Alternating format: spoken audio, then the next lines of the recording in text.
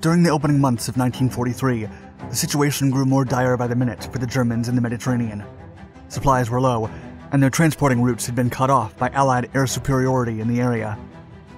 A desperate attempt to supply German troops in Crete was subsequently made on June 1st, when a heavily protected convoy suddenly faced a massive force of 72 bombers that emerged over the horizon, escorted by scores of fighters ready to hunt them down. To their astonishment, the bulk of the bombers were American built Royal Air Force Martin A 30 Baltimores, fearsome aircraft known for their speed and overwhelming flight formations. Over the years, the A 30 Baltimore has slowly drifted out of history books, but by 1943, the aircraft was the Allied bomber in the Mediterranean theater par excellence. The peculiar fish like warplane had a crucial role in the Allied triumphs in the Mediterranean, Northern Africa, and the Middle East. But although the aircraft was built by Americans, the US military would never use it during World War II. When the German sailors saw the swarm of Baltimore bombers descending over their position during that fateful journey in 1943, they had reasons to worry. The Baltimores soon swooped in, and a brutal battle erupted above the waves of the Mediterranean Sea.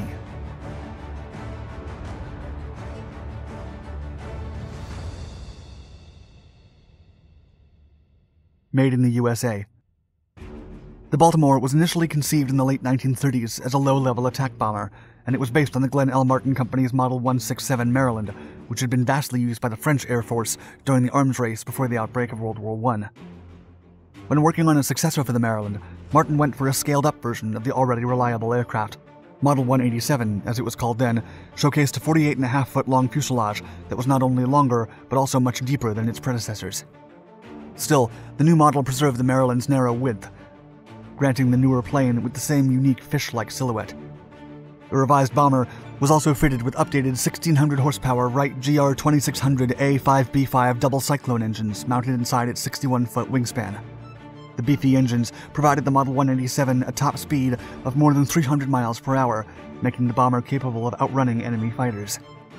As for firepower, the bomber could deliver a 2,000 pound payload, and it was also capable of defending itself during aerial combat thanks to two forward firing 303 inch Browning machine guns and a Boulton Paul turret housing four 303 inch machine guns mounted on a flexible base in an open cockpit just behind the pilot. In addition, the airship was fitted with several weapons to adequately defend itself from almost any angle. The radio operator had access to two machine guns attached to an adjustable ventral mount in the Baltimore's rear facing belly window and if that wasn't enough, additional fixed machine guns were fitted facing down, operated by a foot pedal to the rear, and served to counter any fighters that approached the bomber below the ventral gunner's field of view. Cruising speeds reached 220 miles per hour, with a service ceiling altitude of 24,000 feet and a bombing range of 950 miles.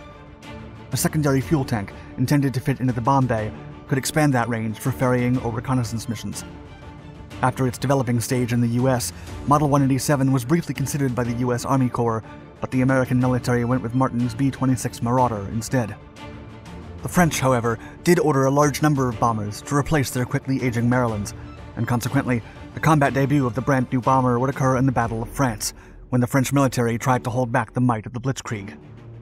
Things didn't go as planned for the French, and soon they were overwhelmed by the Wehrmacht, forcing the government to capitulate and submit to Nazi Germany's rule.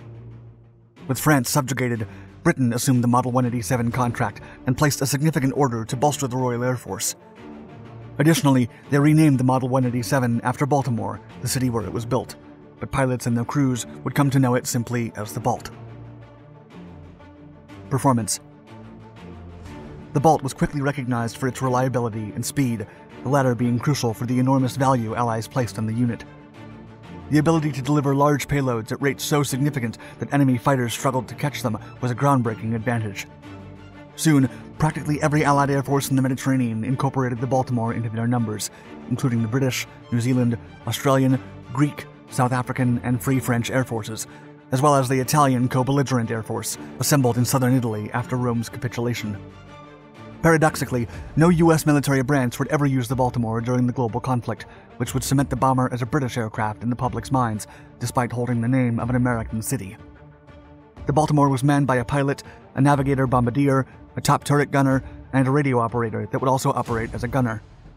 If the pilot became incapacitated during combat, auxiliary flight controls in the nose allowed the navigator to fly the plane, making the bomber highly secure.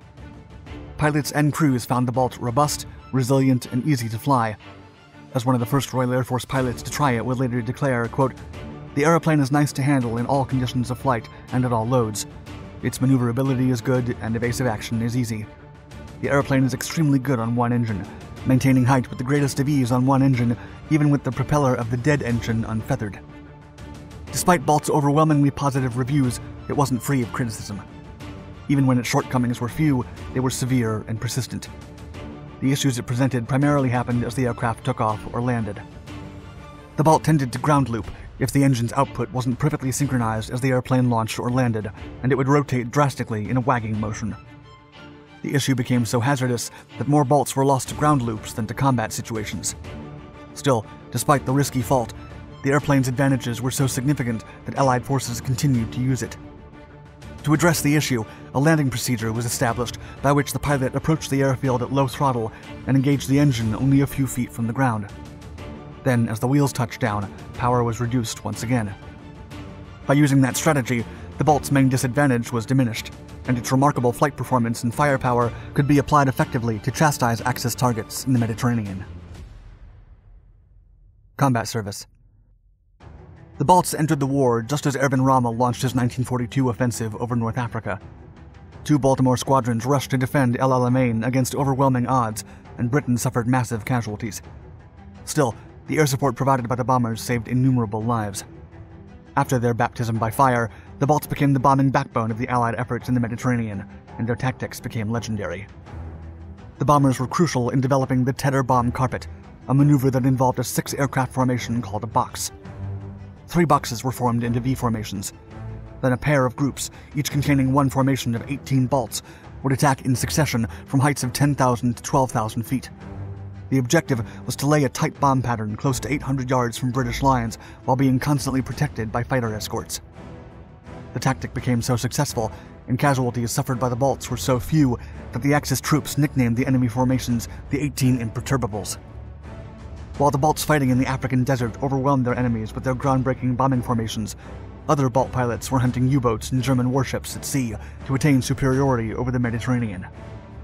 One such operation would later be called the Big Strike, a massive bombing attack on a German convoy attempting to supply troops in Crete. As the convoy left the harbor, a Baltimore reconnaissance aircraft began tracking it, constantly informing its position while avoiding escorting fighters and anti air fire. As the evening arrived, the strike force finally intercepted the convoy, which was made up of 72 bombers escorted by Mustangs, Spitfires, Wellingtons, Marauders, and rocket armed Beaufighters. Squadron leader George Gray described the outset of the attack. Quote, It was about 7 p.m. and still daylight when we attacked. We managed to straddle a merchant ship and the South African Baltimores another. The rocket Beaus had a go at the merchant ships, and some of the rockets went straight through without damaging them significantly. There was a lot of flak from the destroyers, but we were high enough to get away with it. The outbreak of the onslaught was sudden and devastating.